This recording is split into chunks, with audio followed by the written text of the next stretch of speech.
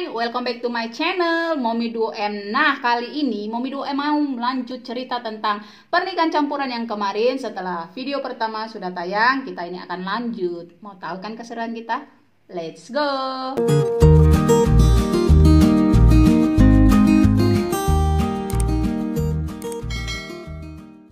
Nah, kalau kita kemarin udah bahas hal apa saja yang harus diperhatikan saat menikah dengan warga negara asing. Nah, kali ini kita akan membahas tentang surat pernikahan campuran yaitu pernikahan saya ya, Nigeria dan Indonesia. Nah, kenapa harus penting dibahas e, harus mempunyai dua surat nikah? Kalau saya itu e, bisa aja ya hanya memiliki surat nikah di negaranya suami. Tapi kalau saya, saya pengennya itu punya dua surat nikah yaitu di negaranya si suami Nigeria dan di Indonesia. Jadi kita itu tercatat dua resmi di Nigeria dan di Indonesia. Nah, karena pertama kali saya menikah dengan Pak Bos itu di Nigeria, jadi keluar yang keluar surat nikah pertama kali itu di Nigeria.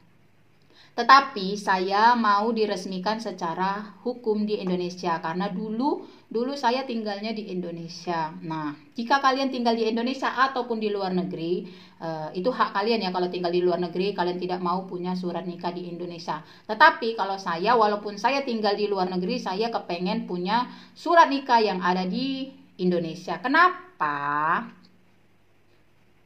Banyak manfaatnya.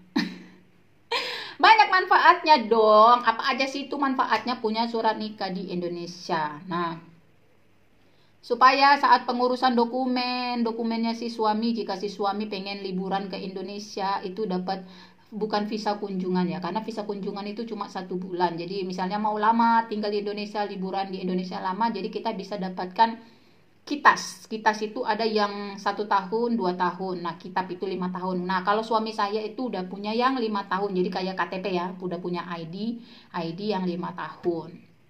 Nah udah gitu uh, si anak anak kita juga punya akte lahir. Ya bisa aja sih. Nggak punya surat nikah di Indonesia si anak punya akte lahir jika diurus tetapi si anak ini cuman terdaftar dengan nama orang tuanya si ibu aja karena tidak ada punya surat nikah. Jadi di surat di akte lahirnya anak itu cuma atas nama si ibu, tidak ada atas nama si orang tua. Nah, kan kayak kalau cuma akte lahir anak uh, terdaftar atas nama si ibu macem uh, kelihatan uh, kelihatan kayak nggak punya bapak ya. Jadi jadi saya uh, one by one stepnya ya jadi saya punya su, uh, akte uh, surat nikah di Nigeria dan di Indonesia. Nah, bagaimana cara ngebuatnya? Karena kan udah nikahnya di Nigeria, kok bu, uh, bisa buat surat nikah lagi di Indonesia? Bisa dong. Jadi kita itu nikahnya di Nigeria tahun 2010. Nah, kita nikah di Nigeria itu dapat surat nikahnya itu seperti ini seperti ini ini ada foto saya fotonya Pak Bos nih surat nikah di Nigeria itu seperti ini. Nah ini ini itu ada dua ada dua uh, buat saya dan buat Pak Bos. Itu satu dipegang saya satu dipegangnya sama suami saya. Nah uh, gimana caranya buat surat nikah di Indonesia? Nah kita kan udah punya surat nikah tuh di luar negeri ya kan? Di negaranya si suami Nah, kita ke Indonesia nih kan, daftar ke catatan sipil. Nanti si catatan sipil ini kasih tahu syarat-syarat umumnya apa aja yang harus dibawa berkas-berkasnya. Ya, berkas-berkas biasa ya. Paspor, KTP, KK, akte lahir. Nah, nanti itu dibawa ke catatan sipil. Nah, di catatan sipil akan ada surat pengantar dikasih surat pengantar yang akan e, dibawakan ke pengacara yang diakuin oleh negara. Nah, jadi itu kalau saya itu kan di Jakarta ya karena KTP saya KTP Jakarta. Nah, KTP saya kan Jakarta Barat. Nah, itu e, harus di e, pengacara yang diakui negara itu di di Jakarta itu ada lima karena kan ada Jakarta Jakarta Pusat, Barat, Timur, Utara, Selatan. Karena KTP saya Jakarta Barat itu harus buatnya di Jakarta Barat. Nah, ada di Jakarta Barat itu kalau belum pindah ya.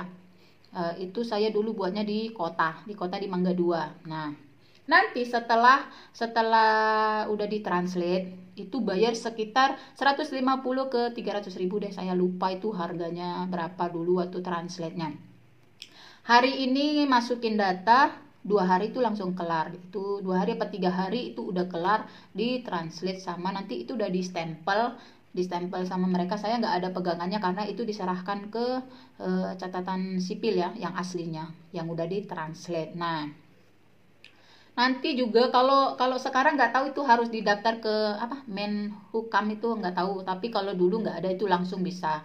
E, tapi di catatan sipilnya itu bukan sesuai KTP harus yang di pusat. Nah kalau saya itu kan KTP-nya Jakarta Barat. Jadi buatnya itu bukan di sipil Jakarta Barat tetapi buatnya itu di pusat.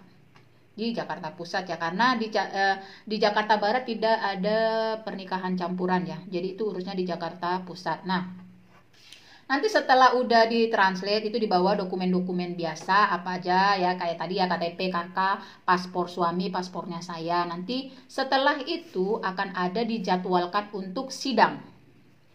Untuk sidang pernikahan jadi dibuatlah itu jadwal sidang. Jika kalian tidak mau sidang juga boleh. Nggak tahu ya kalau sekarang boleh apa nggak. Kalau dari dulu zamannya sekarang itu boleh nggak sidang tapi kita bayar uang sidang e, jadi kita cuman bawa saksi. Bawa saksi bawa saksi itu untuk tanda tangan tanda tangan e, nanti itu akan ditentuin tanggal berapa. Nggak mahal kok. Kita bawa saksi yaitu uh, saksi orang tua saya atau siapa aja keluarga kita yang mau jadi saksinya pernikahan kita. Nanti setelah itu akan keluarlah itu seperti ini. Nah itu seperti ini. Itu di atasnya itu dibuat itu lapor pernik perkawinan nah itu jadi kertas lembar begini tuh ya lapor perkawinan atau lapor pernikahannya itu akan ada nomornya itu uh, kita nikahnya di tanggal berapa tahun berapa Nah, nanti ini akan udah dibilang itu catatannya sudah dilaporkan pernikahannya akan keluar uh, nomor kayak nik gitu ya, nomornya itu. Nah, itu akan keluar di catatan sipil. Nah, nanti kalau udah keluar suratnya ini gampang. Itu nggak lama kok, sekitar uh, dulu itu dulu saya dua minggu apa tiga minggu udah keluar. Kalau sekarang mah tujuh hari kerja, paling lama 14 hari kerja udah udah kelar ya, gampang. Karena kemarin teman saya teman saya juga baru nikah saya bilang gimana cara caranya nah banyak banget tuh kalau kalau zaman zaman saya dulu mah 2010 belum ada kayak secanggih sekarang internet ya cek di Google apalagi Instagram. Instagram dulu eh, kalau sekarang Instagram sekarang udah lengkap. Mau cari informasi apa aja ada. Kalau kita dulu mana ada kalau saya dulu dari dari tanya ke tanya A ke B ke B A aduh pusing. Tapi e, dengan begitu pun saya langsung jalan ya karena saya nggak pakai agen atau biro jasa. Saya kerjain sendiri semua. Surat nikah di Nigeria juga begitu. Suami saya yang jalanin semua. Di Indonesia juga saya yang e, kerjain sendiri tanpa pertolongan biro, biro jasa atau agen mana pun. Nah, keuntungan jika kalian sudah punya surat nikah di Indonesia banyak. Pasti banyak lah. Tadi udah akte kan udah akte. Nah, jadi kita juga sah sah nikah secara agama dan secara hukum di Indonesia dan di negaranya si suami. Jadi jikalau si suami pengen liburan ke Indonesia dalam jangka waktu cepat dan uh, dalam jangka waktu yang lama di Indonesia, dia kita kita sebagai istrinya bisa sebagai penjamin atau sponsornya si suami. Jikalau kita nggak ada surat nikah, maka uh, si suami saat mau ke Indonesia cuman uh, visa kunjungan ya, visa kunjungan turis. Nah itu kan cuma satu bulan. Kalau kita mau lama-lama di Indonesia, sayang kan dari luar negeri jauh-jauh liburan ke Indonesia cuma satu bulan. Sayang banget ya kan. Nah itu dia. Jadi makanya makanya uh, perlu surat nikah di Indonesia. Kalau yang kemarin kita bahas itu kan ke nikahnya pertama kali di Indonesia karena mau tinggal di luar negeri. Nah, kalau mau tinggal di luar negeri lebih baik nikahnya di Indonesia dulu karena kalau udah nikah di Indonesia dapat surat eh, dapat surat nikah di Indonesia maka saat kita mau terbang ke negara si suami kita bisa cepat mendapatkan visa karena ingin eh, sudah sudah sebagai istri istri si bule atau istri si WNA. Jadi suami yang akan menjadi sponsornya kita. Kayak saya dulu kan e, nikahnya di Nigeria.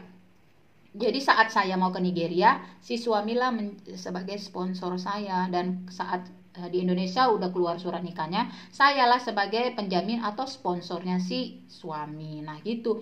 Nah, anak saya juga punya uh, sertifikat dua kewarganegaraan ganda ya. Itu semua saya urus. Pokoknya saya secara legal punya dokumen semuanya. Jadi kita resmi ya punya surat nikah dua Nigeria dan Indonesia. Anak-anak saya juga punya akte lahir Indonesia dan Nigeria dan punya dua juga dua paspor, paspor Nigeria dan Indonesia.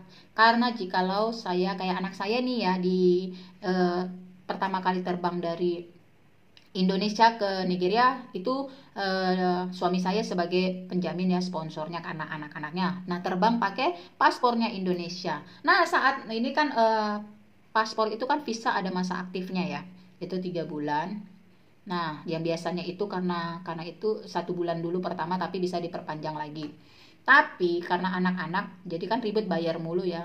Jadi nanti saat anak saya mau terbang dari Nigeria ke Indonesia pakailah paspor dari uh, Nigeria. Jadi dia mereka itu punya dua paspor paspor Nigeria paspor Indonesia Nah, jadi saat nanti uh, mereka kan karena warga negara ganda ya, masih anak kecil nanti kalau sudah dewasa 17, 17 itu uh, baru memilih warga mau jadi warga negara apa. Nah, nanti bisa ditetapkan satu tahun lagi untuk saat 18 tahun itu penentuan mau jadi warga negara Indonesia apa warga negara Nigeria. Nah, tapi makanya itu karena uh, saya dulunya tinggal di Indonesia, saya urus semua dokumennya secara resmi. Nah, saat kita tinggal di Nigeria gampang. Jadi kita kan nggak tahu kehidupan ini seperti apa ya mungkin prediksi tinggal di kayak saya nggak ada nggak ada keinginan tinggal di Nigeria waktu itu. Karena suami saya kan kerja di Indonesia. Nggak ada kepikiran mau tinggal di Nigeria. Tetapi berjalannya waktu ternyata nasib merubah segalanya. Jadi kita ternyata ada kepengen tinggal di Nigeria. Tetapi karena semua dokumen udah saya urus dengan benar secara legal makanya saya saat mau tinggal di Indonesia di Nigeria gampang jadi saat anak-anak sekolah di Indonesia pindah sekolah ke luar negeri itu juga nggak gampang. Jadi anak-anak itu e, harus ada surat hmm, surat pindah ya. Ketepatan anak saya e, surat pindah e, sekolahnya di internasional di Indonesia. Jadi e, semua tulisannya pakai bahasa Inggris ya, nggak bahasa Indonesia. Tetapi jika anak kalian e, sekolahnya di Indonesia surat pindahnya pakai bahasa Indonesia, nah itu kan e, dari sekolah dilapor ke e, dinas pendidikan ya, dilapor ke dinas pendidikan. Nah, setelah sudah dilapor ke dinas pendidikan, saat kalian tiba di negara si suami, kayak saya di Nigeria, itu harus lapor dulu ke KBRI. Karena nanti kalau mau pindah lagi ke Indonesia harus lapor lagi dan itu surat-suratnya lebih gampang ngurusnya. Nah makanya itu e, semuanya itu kita urus secara legal biar mau saat ada terjadi apa-apa bisa gampang nggak harus bayar e, biro jasa. Karena kalau bayar biro jasa itu dengan gampang mereka bilang urus surat nikah 10 juta 20 juta. Itu dulu saya karena bingung dulu ditawarin tuh 20 juta. Itu kan gak gampang ya mau buat visa visa suami e, kayak teman saya itu pada nanya itu mau buat visa suami? Enak banget mereka tinggal bilang 15 juta 25 juta. Kalau punya dokumen yang lengkap itu semua cuman bayar sesuai tarif tarif visanya ya. Kalau visa visa uh, kunjungan itu cuman cuman 200 200 dolar apa nggak nyampe ya nggak nyampe 200 dolar Nah, makanya kalau dari biro jasa itu lebih mahal. Makanya itu semua dokumen dibuatlah secara resmi. Jadi kita sah secara agama dan hukum di negara si suami dan di negara kita sendiri. Jadi kalau ada apa-apa eh, gampang ya. Nah, jika kalian kurang paham eh, gimana cara buat surat di Nigeria atau uh, pengen ada uh, seseorang yang bantu di Indonesia. Uh, nanti bisa chat saya ada di link ada di link itu uh, DM saya Facebook Instagram atau WhatsApp ya. Jika kalian ingin bertanya gimana cara dapatin visa surat nikah atau pengurusan uh, penerjemah atau gimana pun bisa DM saya ya. So jika kalian semua ada yang ingin ditanyakan atau dalam video apa pun yang ingin kalian tanyakan, bisa komen di kolom komentar ya. Bisa jadi saya bisa buat video ke next video. Nah, untuk lain kali kita akan bahas gimana pernikahannya di Afrika atau e, cara orang-orang adat istiadat orang Afrika khususnya Nigeria. Nah, itu nanti berkelanjutan untuk video next ya. So, Momi 2M mau mengucapkan terima kasih buat kalian semua yang udah dukung Momi 2M, nonton semua video Momi 2M dan jangan lupa untuk like dan buat kalian yang baru bergabung jangan lupa juga untuk aktifkan tombol lonceng agar kalian selalu mendapatkan video notifikasi video terbaru dari Momi 2M. Momi 2M mengucapkan terima kasih dan bye bye.